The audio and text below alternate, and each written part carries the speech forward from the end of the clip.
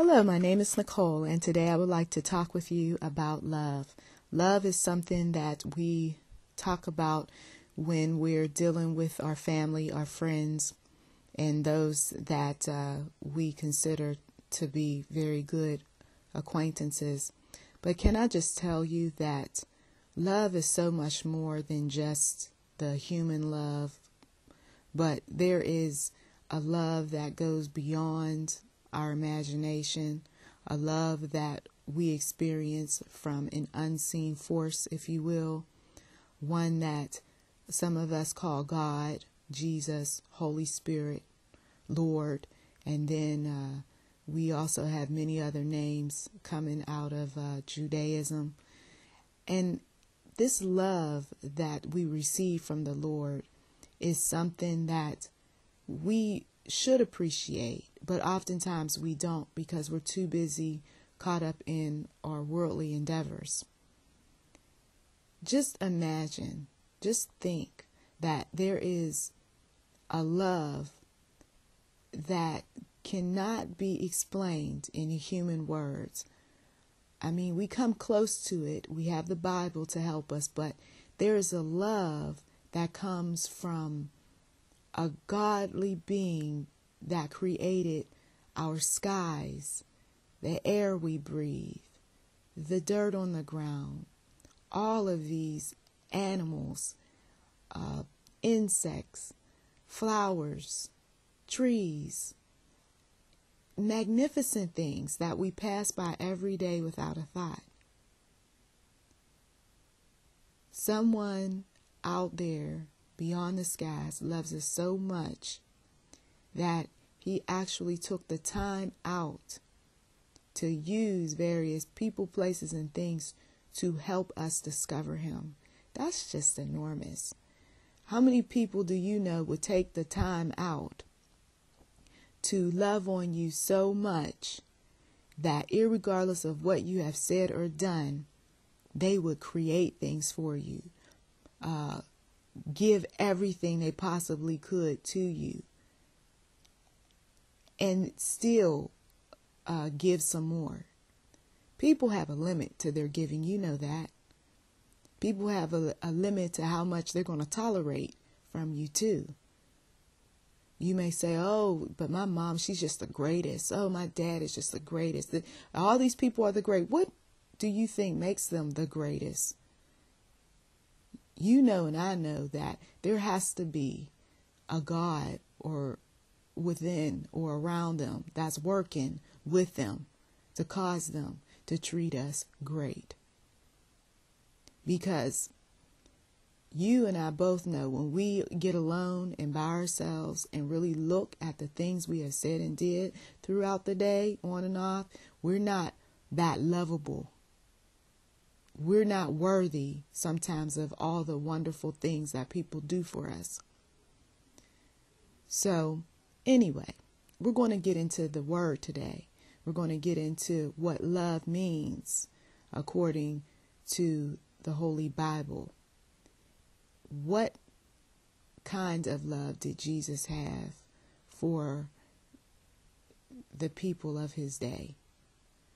What kind of love do you have for yourself and for the people of today? Romans chapter 5 verse 8. But God commendeth his love toward us in that while we were yet sinners, Christ died for us. So even when we were acting like fools, Christ loved us anyway.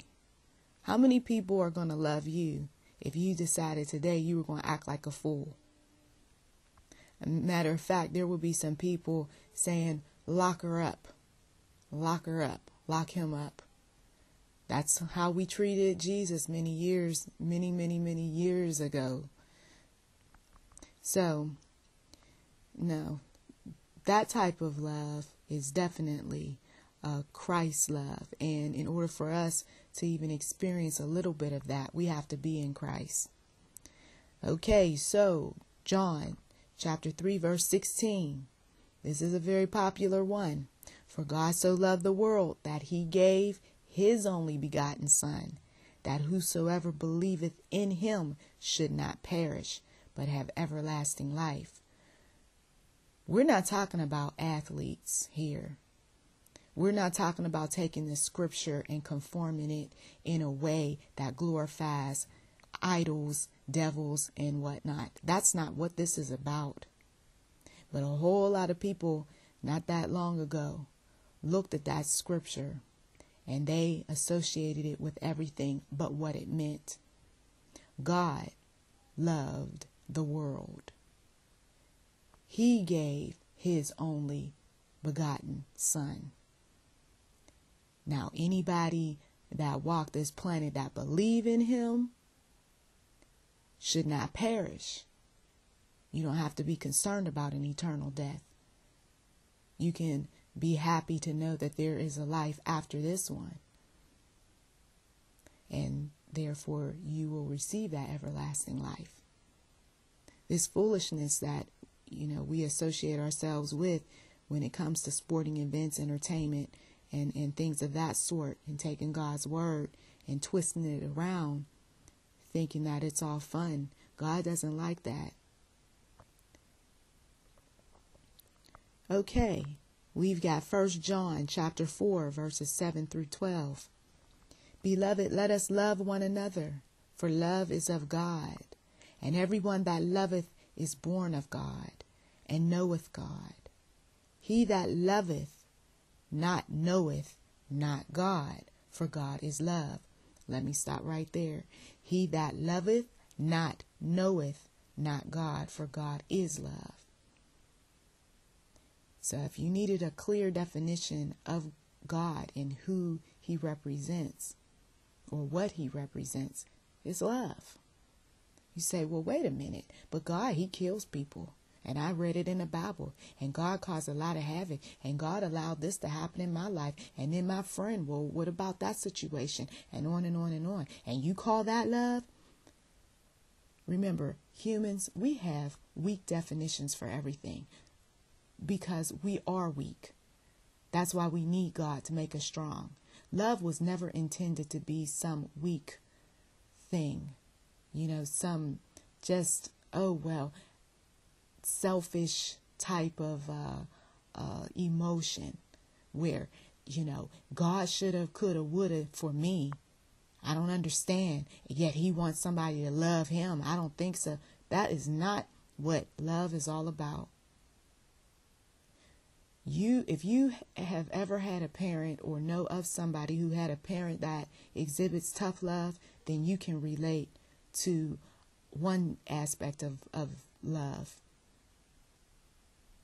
tough love is something where if a parent keeps warning you over and over about something and you continue to do it tough love is kicking you out of the house and letting you go about your business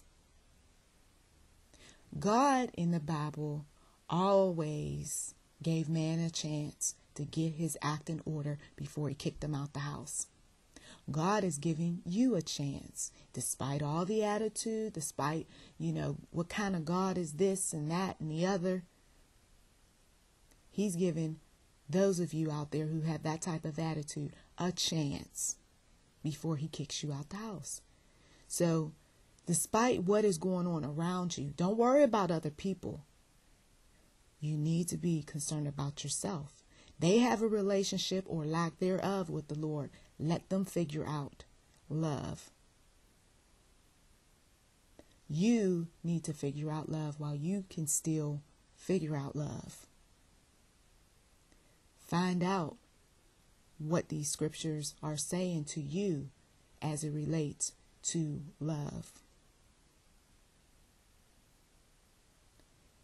Your questions can be answered when you decide to go to the scriptures yourself and answer them.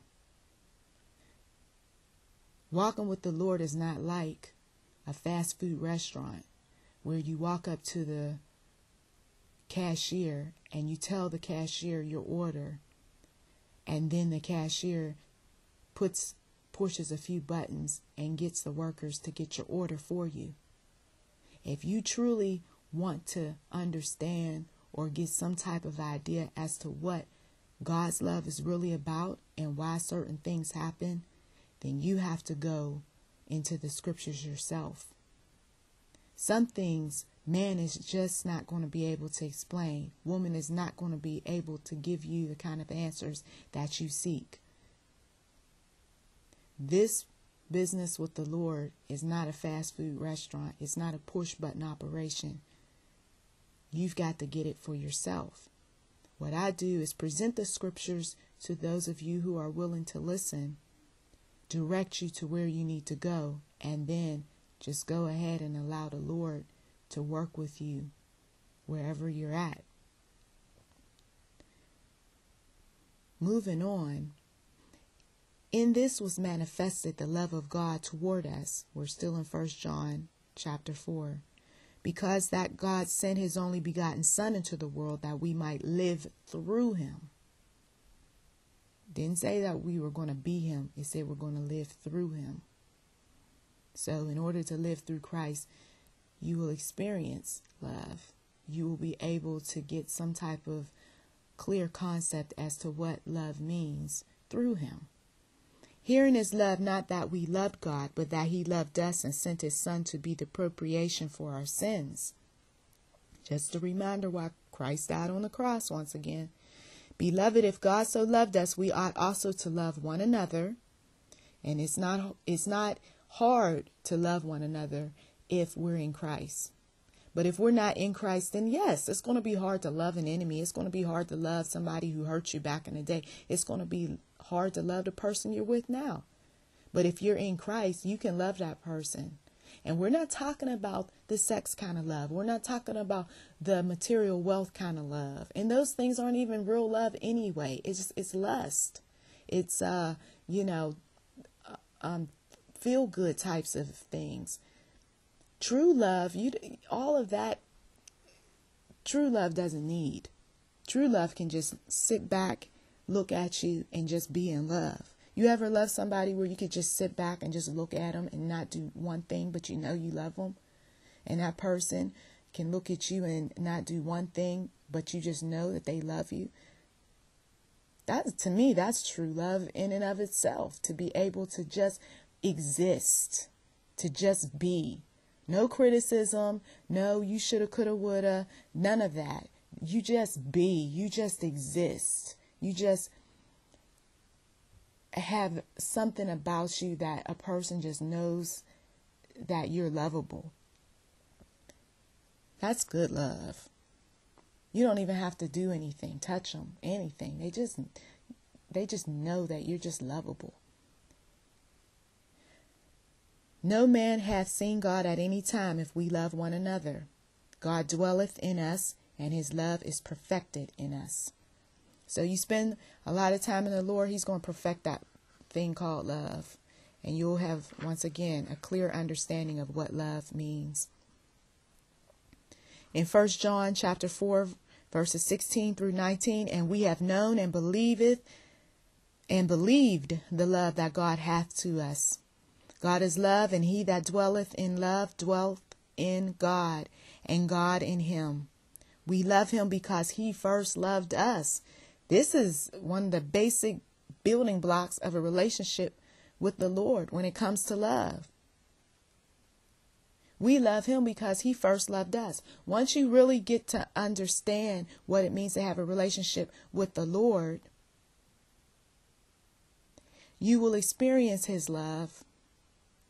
And then when you experience his love and know that he did all of these different things long before you got here, then you can love him just because you're like, well, I didn't walk with him, I didn't talk with him, you know, umpteen years ago, but I just love, just I don't know, I just love him.